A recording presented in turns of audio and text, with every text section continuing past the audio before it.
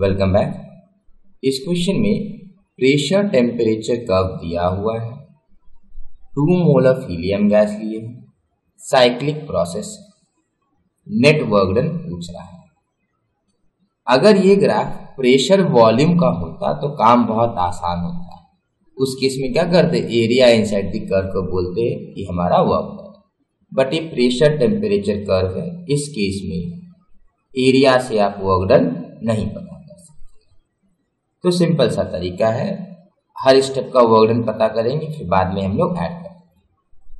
तो सबसे पहले डब्ल्यू ए बी पता करते हैं तो वर्कडन पाथ डिपेंडेंट है तो फॉर्मूला चेंज करेगा डिपेंडिंग अपॉन दी पाथ ये कौन सा पाथ है?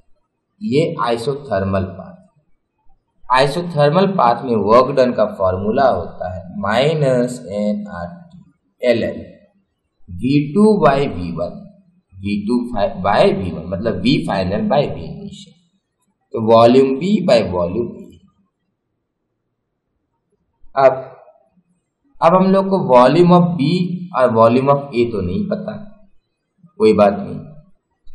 ए बी आइसोथर्मल तो pressure A volume A equal to pressure B volume B अब करना क्या है? V B by B is equal to P A by P B इसको मैं P A by P B लिख सकता हूँ। तो minus N R T L N pressure A by pressure B pressure A है वन प्रेशर बी है two तो minus N R T L N one by two आएगा। अब value put कर सकते एन का पुट कर देते हैं टी का भी पुट कर देते हैं। एन कितना है? टू मोल टी है आपका थ्री हंड्रेड कैलकुलेट और ये एल एन को ठीक कर लेते हैं तो आएगा two R two R into three hundred L N two कर दिए, इसलिए माइनस यहाँ वाला चला गया। तो ये आया six hundred R L N two ये W A B uh next B C W of B C isobaric work तो आइसोबारिक वर्क डन का फॉर्मूला माइनस पी डेल्टा तो minus P into volume C minus volume B इसको थोड़ा ऐसे कर break कर देते तो क्या आया? Pressure of B minus pressure into volume of C अब अब देखो वॉल्यूम तो नहीं दिया हुआ है बट मैं इसको क्या लिख सकता हूँ? ये दोनों प्रेशर इक्वल है, और P B equal to P C है ना तो इसके लिए मैंने बी लिखा, इसके लिए मैंने सी लिखा। P B equal to P C equal to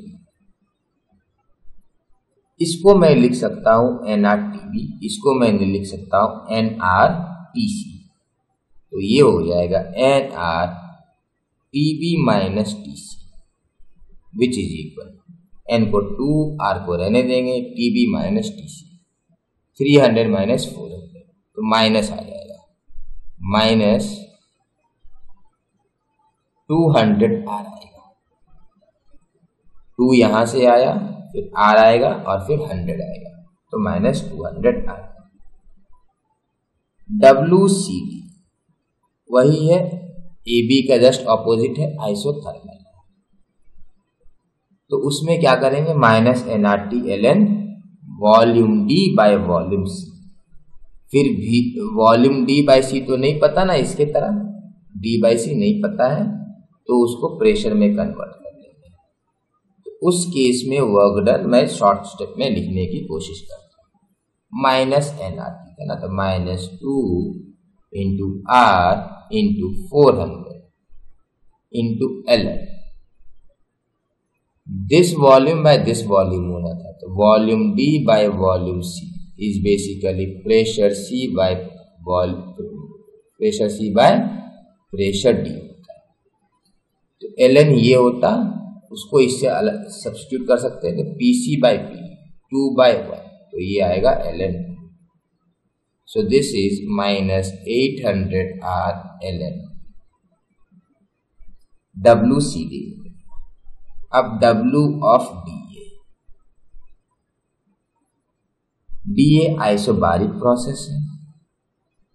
क्या हो जाएगा? पी डेल्टा तो ये हो जाएगा, उसी की तरह करेंगे P V A minus V इसको लिख सकते हैं P A V A minus P D V D तो ये हो जाएगा N R T A minus T D equal N है आपका टू मोल आर तो आर होता है T A minus T D तो माइनस हंड्रेड तो ये आ जाएगा माइनस टू हंड्रेड कितना आएगा? Minus two hundred.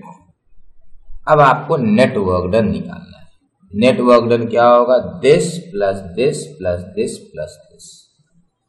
तो W net. Easy this this this this. तो ध्यान से, ये माइनस टू हंड्रेड। यहाँ माइनस नहीं है बीसी में कुछ गड़बड़ हुआ। टीबी माइनस टीसी यहाँ गड़बड़ हुआ है, यहाँ मैंने गड़बड़ किया ये माइनस था यहाँ पर। तो यहाँ ये माइनस आ जाएगा। यहाँ माइनस आएगा और ये प्लस हो जाएगा। चेक कर लीजिएगा, ये माइनस मैंने मिस कर दिया तो चारों स्टेप में आप देखेंगे, ये माइनस टू हंड्रेड है और ये प्लस टू हंड्रेड है। तो इन दोनों को ऐड करेंगे तो कैंसर हो जाएगा। तो नेटवर्क डन में ये बचा रहेगा और ये बचा रहेगा। Six hundred R minus eight hundred R L N तो ये हो जाएगा minus two hundred R L N two so net work done will be minus two hundred R L N